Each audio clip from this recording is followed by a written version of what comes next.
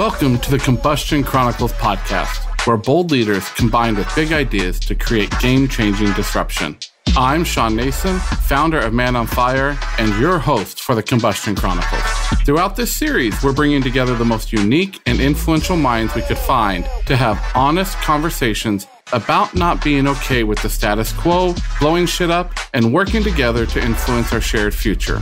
We believe that when bold leaders ignite consumer centric ideas with passion and grit, the result is an explosion that creates a better world for all of us. I'm here with my co host Michael Harper, Chief of Radical Experiences at MOFI.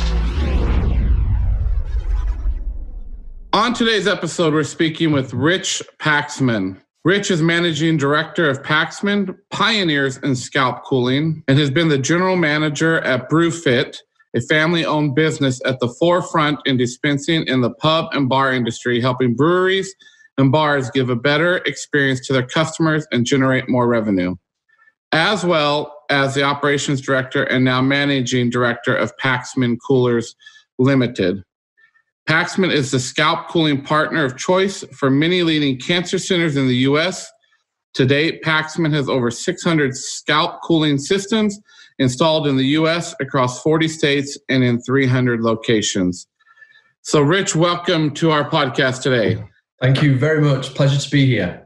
Yes. So, Rich, we're not going to waste any time here because this is the obvious question, I think, to me and to uh, listeners here when we will start digging into this is how do you go from keeping beer cold to changing the face of cancer?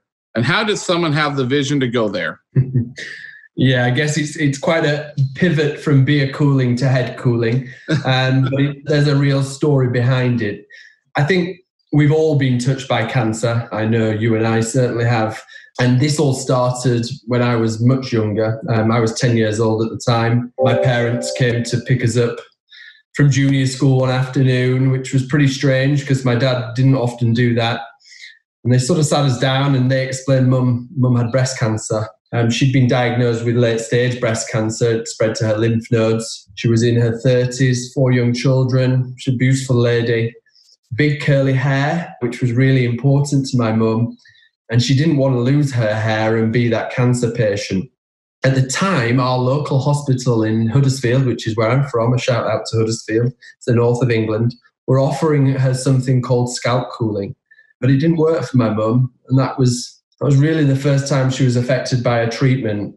Three weeks after her first chemo treatment, her hair started to fall out, cover pillow, um, pillow covered one morning. And that was the first time she was actually affected by her disease and prognosis. First time she cried. My sister um, cut her hair off, which was devastating for everyone, really. She started now to look like she was ill and dying. So my dad, who saw this distress, was determined to do something about it. And my dad, being an entrepreneur, uh, an engineering background, and then here's the link family history in refrigeration, but specifically beer cooling, something close to many of our hearts. So, in fact, my grandfather invented a beer cooler in the 1950s, which might be strange to you Americans, bearing in mind that you think we like our warm beer.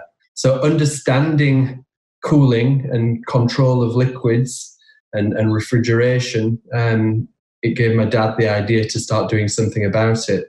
Um, so, along with his brother Neil, he developed our first prototype in the 90s and we've been improving it ever since. So for the last 20 years, uh, developing scalp cooling technology, as it's called, and also not only the technology but really the healthcare market acceptance of scalp cooling, which which is the most important thing.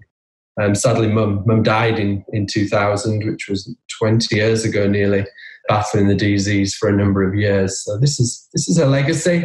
That's the link, and that was a, quite a long story, but it's our why and it's why we're passionate my mum's our inspiration and motivation every day. Yeah, I mean, first off, Rich, thanks for sharing the the story behind it and the legacy that you are leaving and you guys as a family are doing for your mom.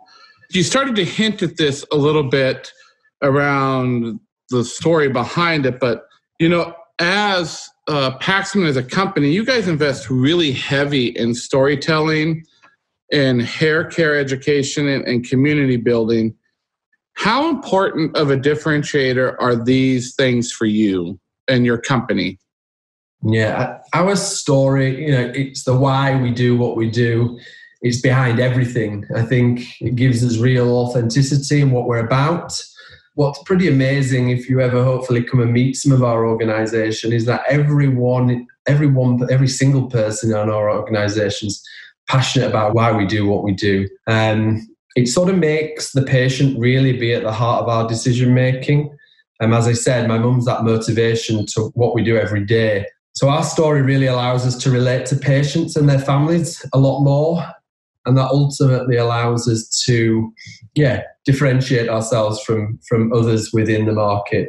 I think it came more clear to us when we moved into the US market as well, because of how much patient interaction we now get on a daily basis. So, yeah, just hair care education, that community building is incredibly important to give a sense of support for everyone. And ultimately, that means the best possible outcomes for our patients.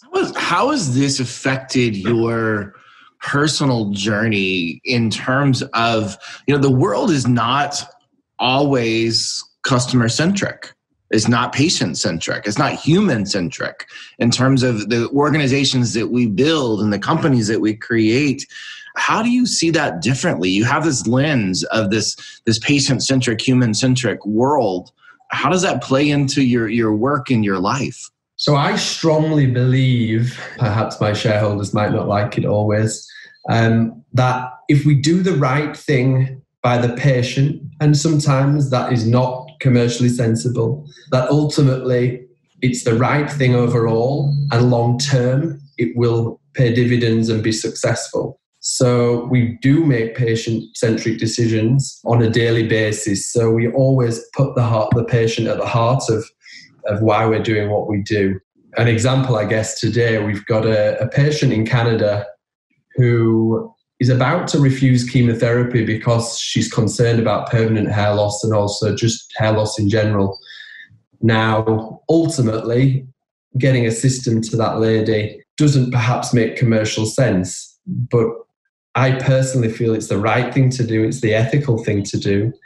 And long term, making those decisions for those patients will, will benefit everyone. I don't know if it's real or perceived, but that's not how we typically roll as people and leaders, right? It's almost like you're swimming upstream, you're, you're going against the grain to make those decisions that way. Well, I mean, what do you attribute that to, and how do we get through it? This couldn't have been an easy journey for you. So I think uh, I attribute that to our personal story and, and understanding how that affects people. But I also think it's, it's the person my mum was, and that's instilled in myself and, and other members in my family. So I think it's, it's our values. It's what it's what we built our company on.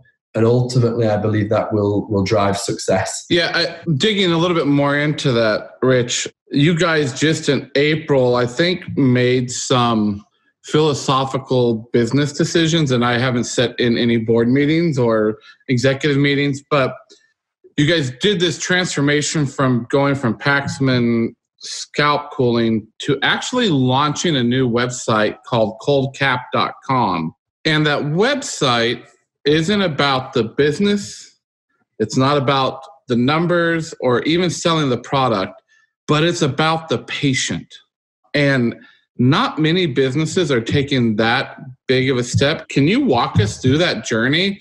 I'm sitting here right now with the site up and, you know, it says we are here to guide you through the cold capping process. Like this is so patient human centered. Thank you, and I'm, I'm pleased you see that. It's I was just having a discussion with an advocacy group today, and they they, they also saw how supportive it really is. The first step was to move not fully away from scalp cooling because scalp cooling still is it is still Paxman scalp cooling and and that's very much about the science, the data, the developments, perhaps the company information, um, perhaps where you would go to learn a bit more about you know the technical aspects of what we do. But ultimately all that is surplus to requirements without the patients that we serve and we work with. What's become very apparent is that in the world of scalp cooling and patients and hair loss cold cap is ultimately what people are talking about. It's a cold cap. It really is. So i think that transformation in terms of how we package it became clear, spending more time with patients. And really wanting to own that messaging, which is important. From a website perspective, I work with some very creative people, not only in our direct team, but our um, agencies that support us from a brand perspective and a, a marketing perspective also. And it was very clear that what we needed to do is be able to support that patient not only from an inform, uh, information and education point of view, but really from the beginning of their journey right through to the end of their journey. And that's not the day they stop scalp cooling, but the weeks and perhaps even months after they've stopped scalp cooling. So the development has really allowed us to reach out to that patient, provide them a supportive tool from diagnosis right through to post hair care,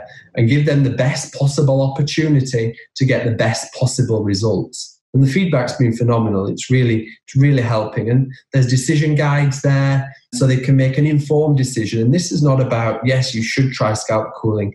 It gives them really good, strong data to make a decision on whether it's right for that patient, right for that disease type, right for that regimen type.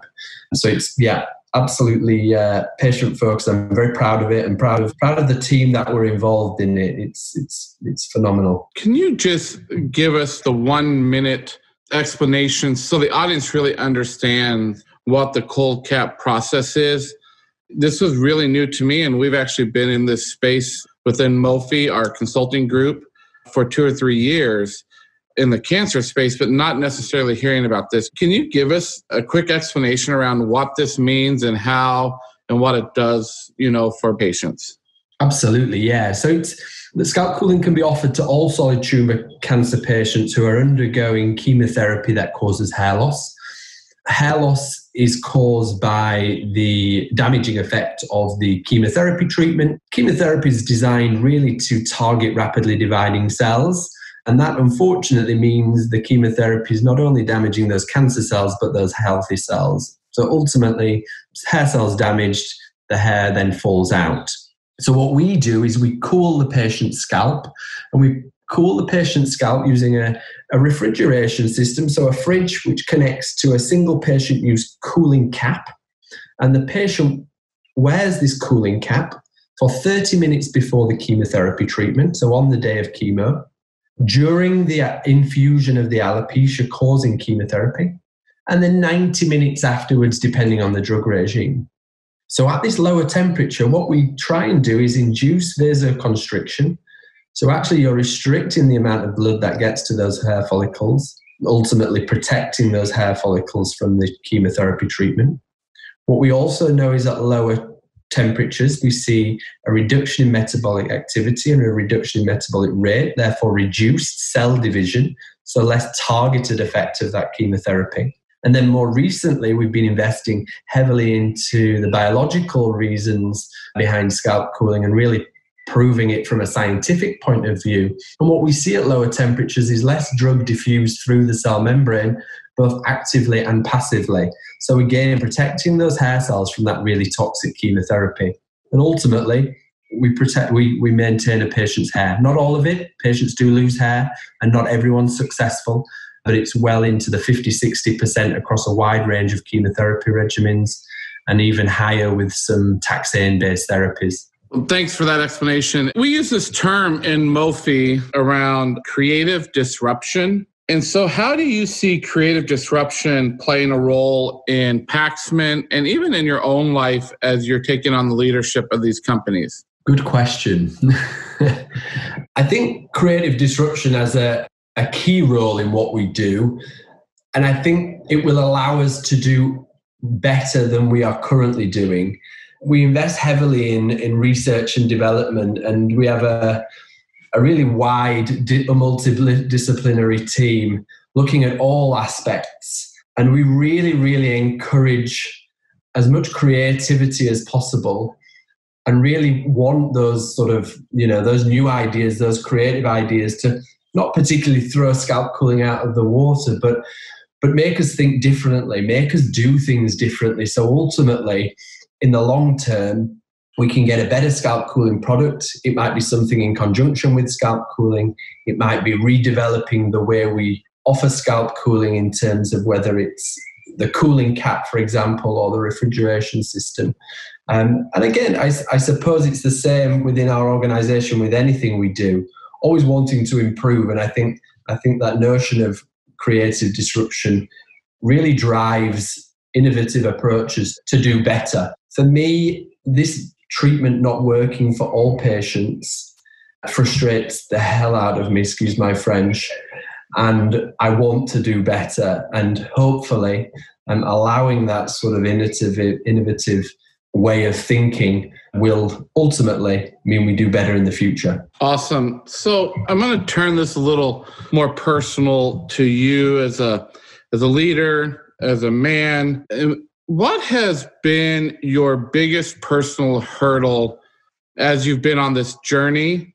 And what has scared you the most and how did you overcome it? So I guess I guess life throws many personal hurdles at you. I've enjoyed many of those. They've been challenging at times. For me, probably the biggest personal hurdle, a couple of them relate to not a full belief in what I do, but having a confidence to take the business from where it was when I joined to where it is today, today and ultimately much further. And that's a belief in yourself.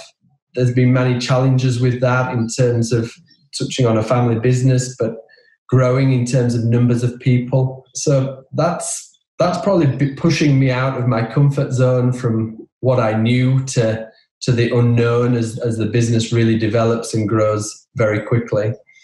From something that makes me very uncomfortable would be public speaking. In fact, it makes me feel quite sick even, even now. So I, I continue to try and work on that from a, a personal perspective. And then, really personal, I came out when I was younger, about 19, and I was reasonably okay with that with my close family and friends. But it's taken me some time, and probably only until just recently, where feeling comfortable about my sexuality, even in a work environment, has been tough, I think. And it not affected my work as such, but perhaps being true to myself and engaging and opening relationships up with other people in my international work. But I'm at peace probably with most of that now, but enjoy a challenge always. Um, so yeah, that's probably where I'm at. Well, thanks for sharing that, Rich. First off, we have another organization within our ecosystem, and you and I've talked about this called Truth Tellers, and it's really focusing on men living authentically in the land of bullshit and bringing a community of men together that are really ready to have those real conversations and so you sharing that, you know, knowing that you had you, you had come out to your family in your late teens, early twenties, but now that you being a successful business leader and being okay with that and knowing and being confident that that's a it's a powerful story for our audience to hear and i'm sure that would um, actually make your mom really proud to know that you're living and standing in that truth today and the changes that you're bringing about within Paxman. So um, it's a shout out to you. Kudos to you. And when you start looking what's uh, you know going on in our world today, there's such great divides and such wide spectrums and this new norm that we're all trying to face. What would be your advice to the young rich, the 19 year old rich? What advice would you give him today, looking forward into the future and what we're facing, not just within, you know, personally, but globally, politically? What would be that one thing that you would give advice on to him? The one thing. So I think for me, it's really embracing the change and the new normal, not pushing against it, but as I said, embracing it, but seeing the good things and being positive about this change. Now, you know, we, we talk about the new normal and, and, and sort of, yeah, COVID 19 up to the eyeballs at the moment. But what I think we need to do, and, and albeit it's affecting many people in many different ways and very difficult ways, and all of us, I think, but but actually grasping onto those bits that that are good, that are positive, and I think life is a lot easier if we do that and hold on to those things. Um, so really embrace, embrace the change and find those bits that are are positive and focus on those. Um, I think that's that's the most important thing. From what I was just talking about, I guess with perhaps coming out, just just be true to yourself and yeah, be comfortable with yourself. Generally, people people like you for who you are, and, and don't forget that. Love that. Love that advice. We're kind of coming to the end here, and we could keep just having a conversation. But we do this section at the end, Rich, called the combustion questions. And we use this really great scientific algorithm. It's Michael's brain, which is a scientific algorithm, if you know Michael very well here with us.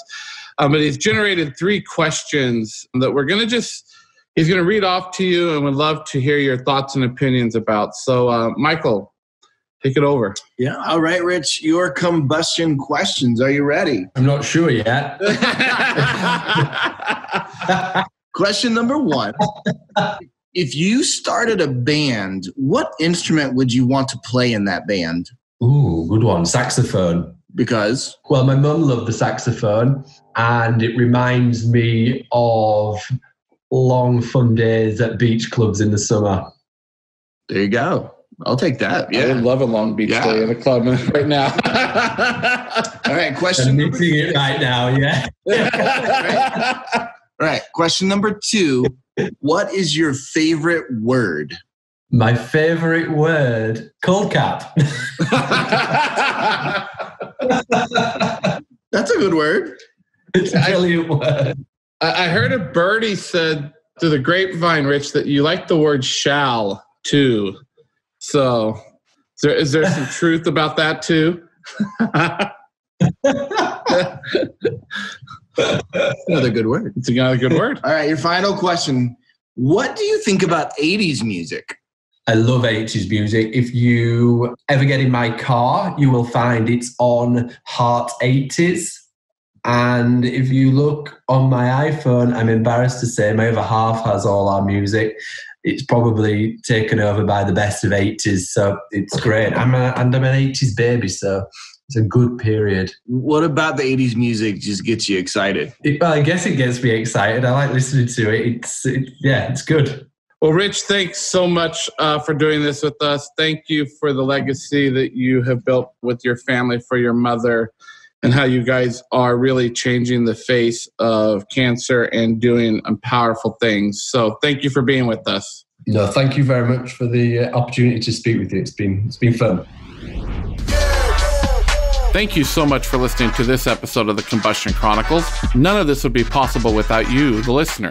If you'd like to keep the conversation going, look us up at Man on Fire Social on Instagram and Facebook, or find us on YouTube at The Combustion Chronicles. Give us a shout and join our disruption movement. And check out this episode's downloadable recap page at manonfire.co. We know you lead a busy life, so if you're driving, exercising, or maybe you're just blowing your own shit up, don't worry. We've already taken the notes for you. Each recap is filled with guest information, episode themes, quotes, resources, and more. And remember, please subscribe, rate, and review if you like what we are doing. And if you don't, do it anyways. Stay safe and be well.